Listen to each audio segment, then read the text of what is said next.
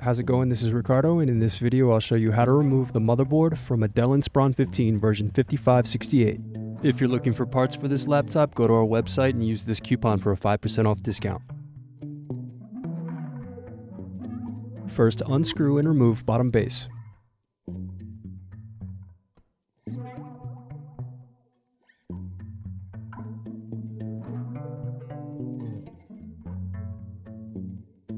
Then unplug battery connector.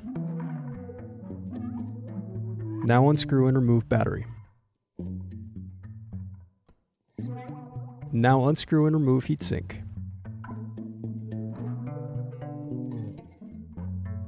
Then disconnect cables from motherboard.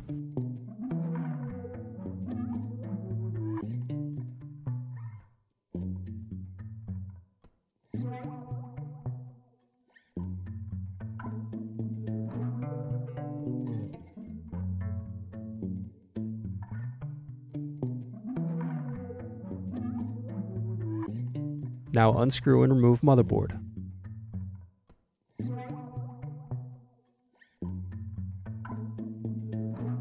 Need more? Check out these other tutorials. For batteries, click here. For hard drives, click here. For wireless cards, click here. Thanks for watching. If you enjoyed this tutorial, give this video a like and subscribe to our YouTube channel. Check the video description below for links to written tutorials and replacement parts.